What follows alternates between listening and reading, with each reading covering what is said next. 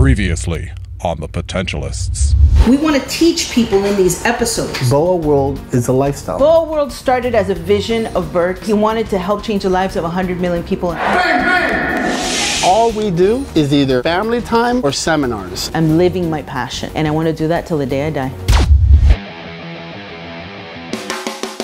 Anyone can entertain you, but only we edutain you. With a mixture of fun, learning, and craziness, my team and I travel the world motivating and connecting with people. Get ready to make it happen. All right, brief bio. Um, let's see, I'm 20 years old, so it doesn't go back that far. What happened in my life that I can talk about?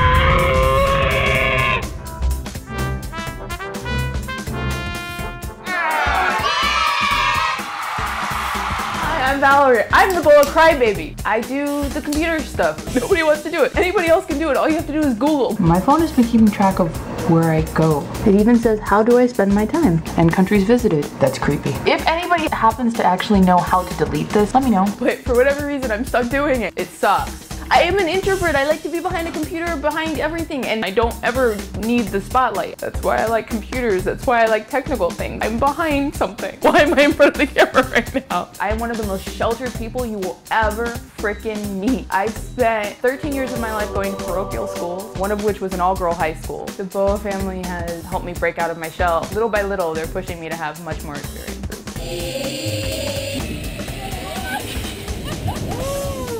God, they have a lot of patience to deal with me because I can be a pain in the ass. A bitch? I was gonna say that, yeah. Yeah, a little bitch, a little yeah. Uh-huh. My name's Eric. I am a reluctant Texan. If you go to Texas, though, the good thing is you can flash your Texas Pride card if you're not from Texas. You're not a real Texan. I grew up in Florida. I make up the 0.01% of the white people that live in Miami. Alexa calls me her evil twin because we have a bit of a irreverent sense of humor. I'm usually playing roller hockey. I play goalie. People think that's strange that I would want to stand between a disc that flies like at 70, 80 miles an hour and try and block this thing. What it is I love about it is that you get to be the guy that is the one you have to depend on no matter what. You get to be at the end of the day the hero or the goat. So it's that pressure to perform that drives me and makes me want to push myself further. According to BOWA, I'm extremely confused. They don't think I'm gay, which is interesting because I don't know how to prove to them that I am.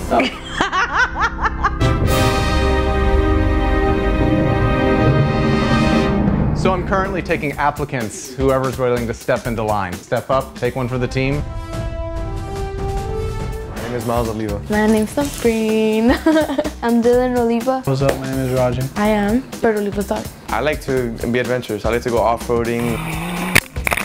I like to ride my motorcycle and hang out with my family. Oh. I B A.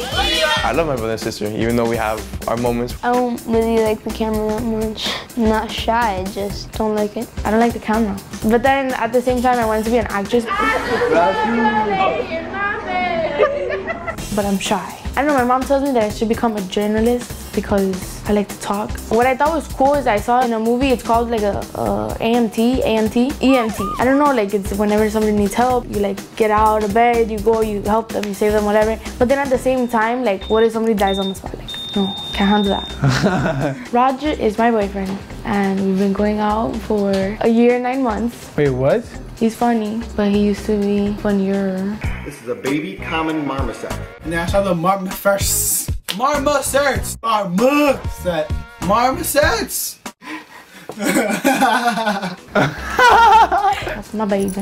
Listen, I am Serg, Big Papa to all of yous out there, and I'm Cuban. Madness. Daddy got a hold of mommy, injected, and all of a sudden I came out. So that's what you got. It's great to be Cuban because you can go late anywhere you want and get away with it. You can be loud. Get away with it. You can whistle at girls, pinch their butts, do whatever you want. That's! And get away with it. Guess what? It's pretty cool to be Cuban.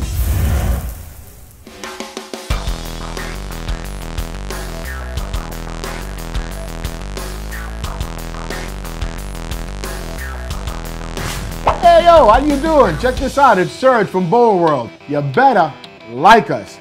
And if you got something to say, leave a comment. And check this out. If you really got the guts, subscribe so I can get back to you so we can make it happen with BOWA World.